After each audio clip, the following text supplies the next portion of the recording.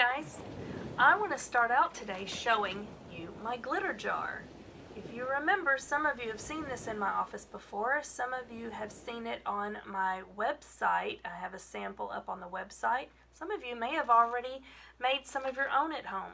But today when you look at this glitter jar, I want you to think of it sort of as a model of our brain when we're kind of in an excited mode and a lot is going on or a lot is making us worry or get super agitated about something. And so when you look at that glitter jar, all of that glitter flying around is kind of like our brain when it's trying to process stress. And as you watch it, you'll notice at the top that it starts to settle out, starts to settle down to the bottom. And as it's settling, that's representing our mind as it calms down. Eventually, even when we're upset, all those bits of information flying around our brains start to flow in a clear direction. And some of them go to the part of our brain called the prefrontal cortex, which is for thoughtful decision making, when you can really be calm and think things through. So while it settles some more, can you think of a time when your brain was upset or you were stressed and information just was flying all around and you weren't sure which way was up or what to do. It's really stressful. But if we can find ways to calm ourselves down and let that information start to settle, our brains can think more clearly. So I'm going to set this to side. I'm not going to shake it again. I'm going to gently settle it down, set it down so it can settle and I'll show it again at the end so you can see how it's all settled out. That's why I want us to get really good at learning how to make our brains calm down. That's why I'm always asking you to practice your deep breaths. So let's take a moment right now to settle ourselves. So I want everyone to get situated in your seats. If possible, put your feet flat on the floor. If you're sitting crisscross, that's fine too. Just get your legs as still as possible. Put your hands on your knees. If you're comfortable, close your eyes. If you're not comfortable closing your eyes, then I want you to find something you can focus your eyes on. It might be your hands. You can look down at your hands. You could look down at your feet, or you could find a point on the wall that you can look ahead to, or maybe a picture that you love looking at. So I want you to find that point. I'm going to be looking at you while I talk, but I want you to find a point or close your eyes. Now I want you to very slowly take a breath in through your nose. And I'm going to count to five and see if you can be that slow before your lungs fill up. I'm going to count to five using my hand. If your eyes are open, you can watch me do this. But we want to take in our breath through our nose really slowly.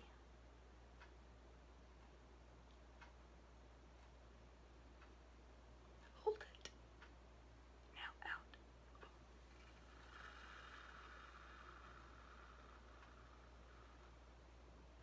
In through your nose, out through your mouth. One more time.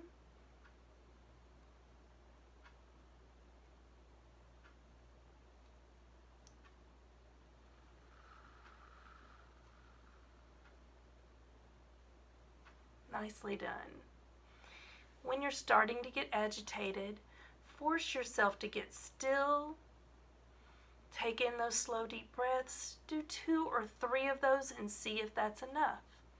You can also try counting to 10 very slowly. It gives your brain something to concentrate on instead of what you might be worried about. So let's talk about three main parts of our brain that help us if we use them the right way.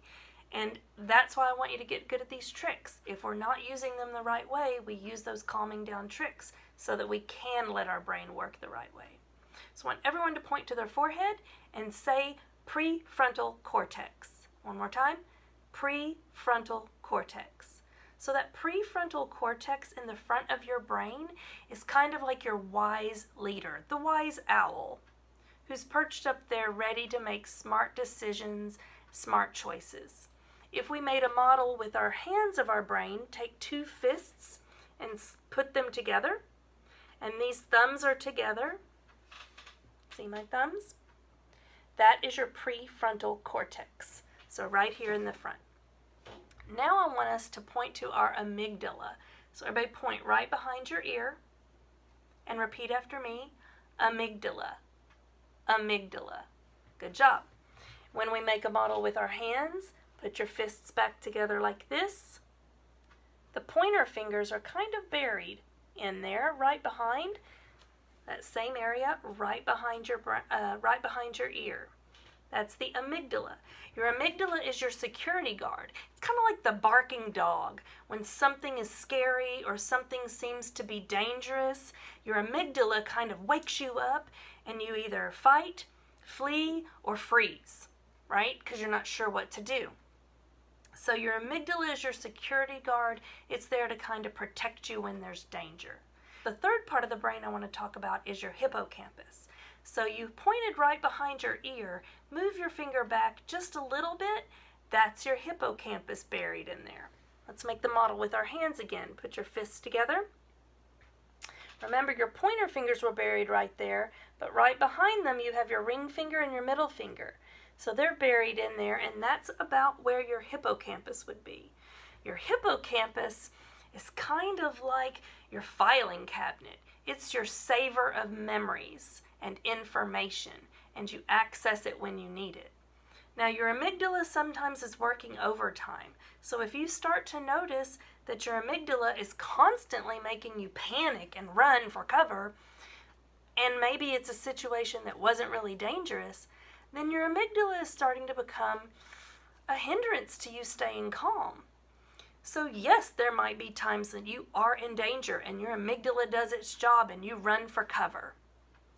But if it's a thunderstorm outside and you aren't in danger, you're inside and you're safe and dry and warm, but you hear that thunder and your amygdala makes you run for cover, it's not giving your brain a chance to think it through sometimes. So you got to get calm.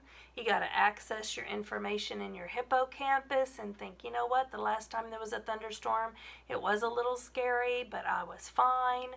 And then your prefrontal cortex can make smart decisions about find a dry place, make sure you're safe, but don't panic. It's all going to be okay.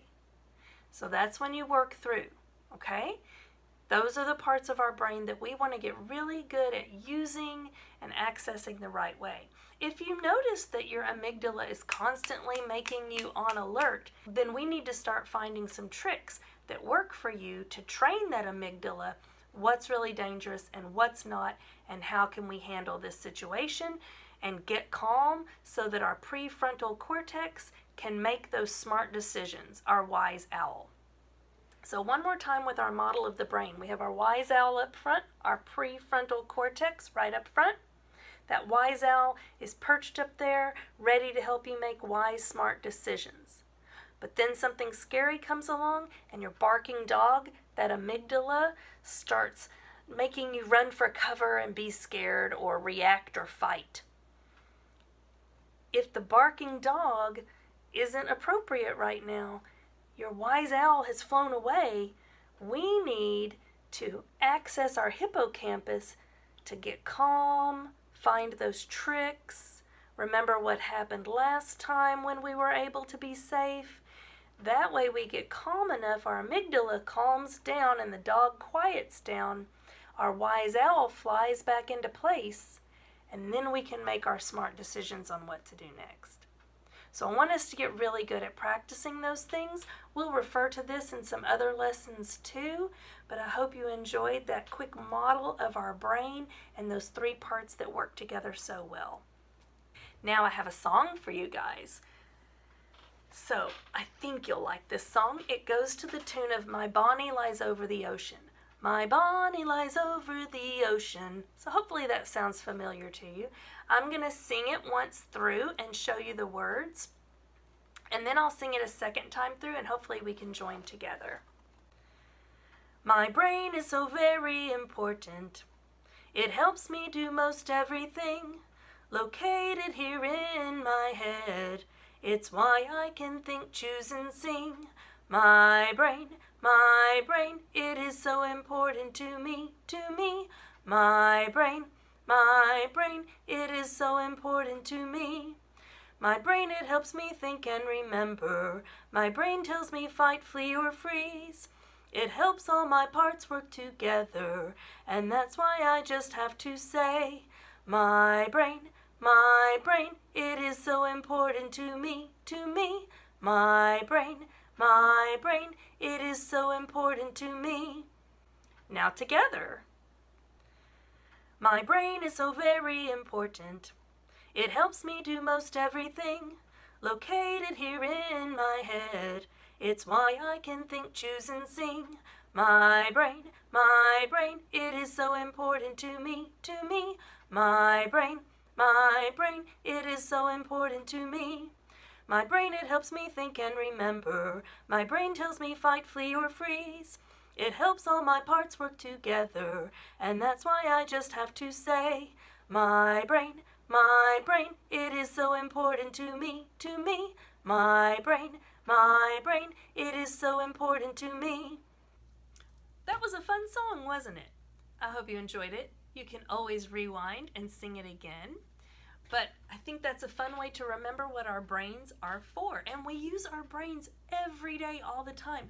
We're always making decisions what to eat for breakfast, what to wear today, what's the weather like so we know what to wear today. What did I wear the last time it was cold?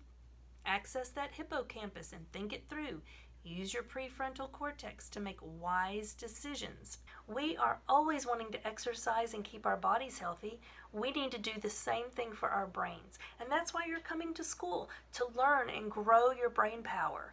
This is just one more way to grow that brain power so that you can feel better and feel healthier, not just in your stomach and your heart, but also in your mind. So let's get really good at practicing using those parts of our brain so that we can make those wise choices with our prefrontal cortex and control that barking dog. He's there to help us when we really need him, but let's make sure he doesn't get out of hand when we don't really need him in that moment. Okay, like I promised, here's the jar. Look, when we learn how to keep our brains calm even when something starts to stir us up, we can get calm again. And then we can use our brains to make smart, wise choices. I hope you're able to practice some of this through the week. I hope you get better and better and stronger and stronger. And I hope you have a fabulous week. Thank you, guys.